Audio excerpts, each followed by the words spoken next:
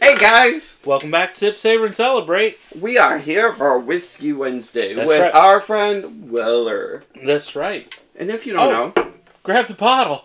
You left it over there. you know our merchandise manager slacking on his job again. So first of all, I wanna I wanna say what a difficult bottle this has been to track down at a fair price, and even the price I paid was not fair.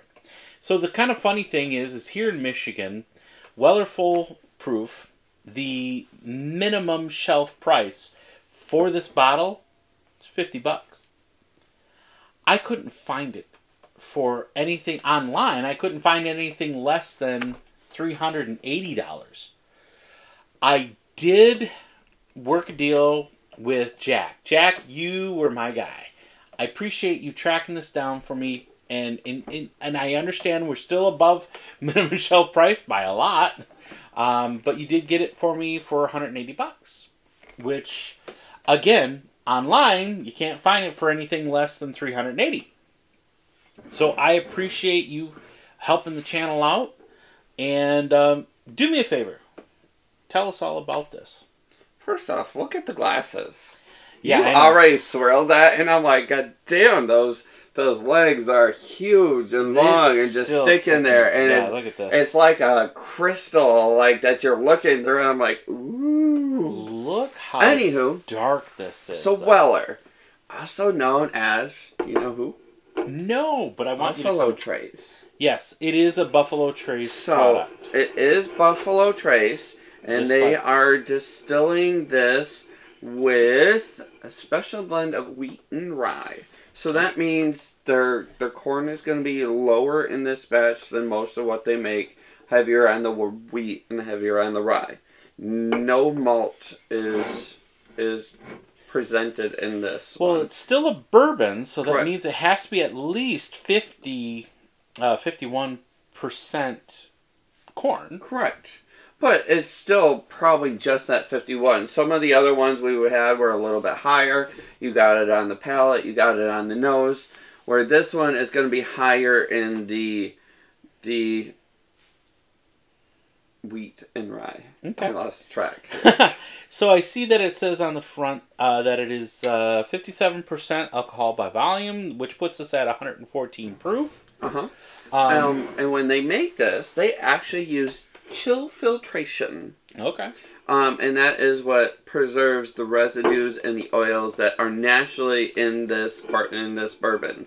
Um, and so, at a cold temperature, you're going to see during distillation that it's actually cloudy. It looks like it's having um, an issue with you know the fermentation and whatnot. Like you know tequila, if it's if it comes out cloudy, you've you've got a bad batch. Yeah. Not this one. This one is actually intended to do that because of its cool. Um, It's a very, very nice and and sweet corn. Some honey, maybe, but spicy. So I'm thinking there's some like a little bit of pepper. And this is a high proof, so these I've actually had a moment to set out, guys, and kind of breathe. Mm-hmm. Mm-hmm. Yeah, not like that one that was like knocking me on Dude, I love that rye. butt. That was the uh, that was the Jack Daniels. The rye. I love that, 140 proof, dude. But but I also love that 140 proof tequila. You did, you did, you did. that was so That good. was hilarious because Sergio was like, "Whoa, whoa, whoa, whoa, whoa! Don't just, just sip, just sip, just sip." It was He's all just like, a, it was just a sip. 140 proof tequila. It was so good though.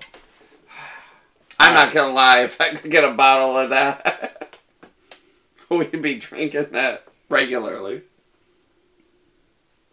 Okay, so what are you ta- talking about your nose again? I got a nice sweet corn, a little bit of allspice and cinnamon, some honey. Boy, that nine o'clock is really nice. So I am going the other way, and I'm actually going with what they're saying on the nose. So I get the cherry out of it. I get the dried fruit. I get the sweetness and the caramel. Okay, maybe like dried apricot. Cherries. Dark cherries. Specifically. I do find that, and it is very beautiful. It's nice. Um, This is a favorite of a I lot. do get the wheat though. Um, it is very kind of wheat forward to me. I do get that. Yeah, I agree. I, Which I, I, agree prefer a wheat beer. So if you ask me, you know, how do you know what wheat smells like? Because I prefer wheat beer. Just Um, walk through a wheat field. I'm not sniffing wheat fields. I picture somebody walking through with their hands, going through a wheat field, kind of like in the um, the movie. What was that movie where Kurt Russell's or not Kurt Russell, um, Russell Crowe, hmm uh, Gladiator. Yep. He's walking through the wheat field. That's what I picture. That was tangent. it's nice. I mean, it's really nice Let's- smelling. Let's go in. That's what she said. Yeah, I'm trying to take a sip.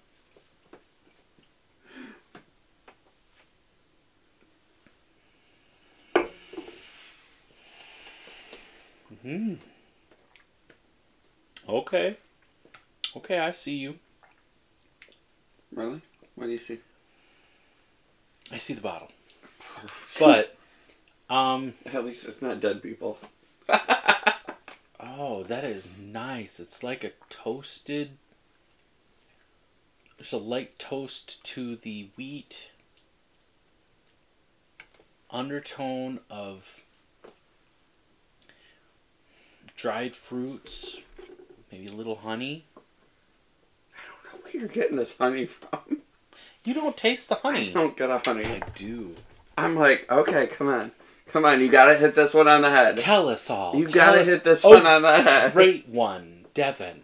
Tell us all what you get. Well, being that I haven't really Oh, looked here at we it, go. I apologize in advance.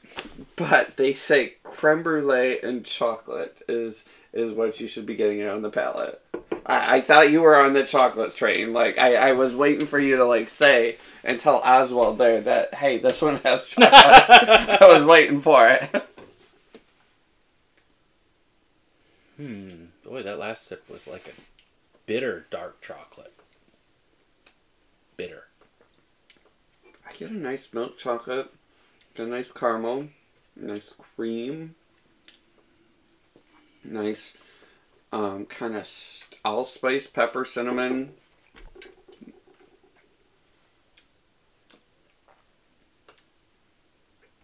I think that rye definitely adds the spice to to complete the all around flavor.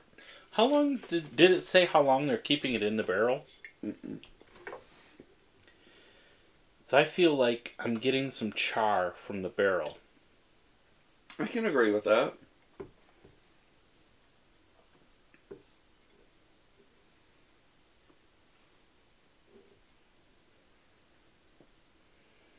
Hmm. It's good. I don't know if it's my favorite bourbon, but I think it's good. It is good, but I think there's still one that holds a candle to it better. Please enlighten us all. I think Penelope. I was thinking the same thing. I like the Penelope. I don't know why I like that Penelope. I can't put my finger on it.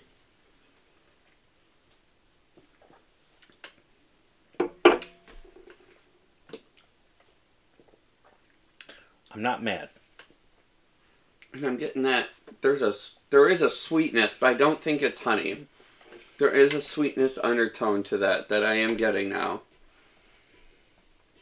But I think that's kind of the corn coming through. Sweet corn, yeah. Yeah, I don't think it's honey. I think to me that I would call that the the sweet corn coming through. Hmm. Well, there you have it, guys. Well, we got it done. That was a. I'm not even gonna lie. This has been one of the more difficult bottles for me to find. tequila and bourbon alike. And nose wipes too. this has been a very difficult bottle to find. I'm glad I was able to get it. Uh, again, thank you, Jack, over at Zatoon um, in Royal Oak. Um, make sure you check those guys out. They're really bunch of great guys. And and when you see us on this TV screen, make sure you Oh, say no, that, whoa, whoa, whoa, that's a different one. make sure you say we follow them and they send us for more spirits. Uh, yeah, that was a different. That was a different one. Anywho, well, hey guys, it's hard to keep We're all, having fun. all We're of our fun. stores that that definitely keep us in business That's in right. line. We appreciate each and every one of them. The list keeps growing. I mean, we've got Royal, we've got Eastman, we got Royal, we've got Zatoon, we've got the other one there, and, and uh, You, yeah. You, Royal Oak, Oh, uh, the Red Wagon. Red Wagon. Yeah, Yeah, yep. You also Um, got um, they're in um, uh, Lake Orion, the Orion Wine and Spirits. Yup. That was the other one with Um, Brandon. He was a nice guy. Yup, we've got. Um, uh, let's see, all of our friends in Indiana. Um, Oh yeah, The gays, gays, hops hops, and schnapps, gays, hops and schnapps. um, we've got now New York. oh yeah, Yorkshire. If you're in New York, check out Yorkshire. Sam, he was really helpful in helping us get a bottle that we've been searching for. And so, I mean, as as Sip Savor and Celebrate grows, we hope you are following us along on this journey because we are loving it. We are making connections. Um, we've got Benchmark. We've got a Tutu. Oh Um, yeah. Yeah. We've got some great ones, and and guys, we have been invited back to Mexico as well for a second tour. Stay tuned because We got to figure that we ha- out. we do.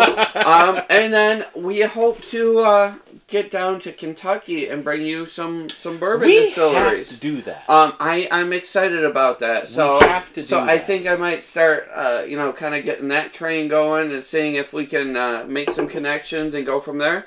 But hey, we hope that as you watch us on this beautiful Wednesday, you remember to always sip, savor, and, celebrate. Salud. And no fish are harmed in the filming of this episode.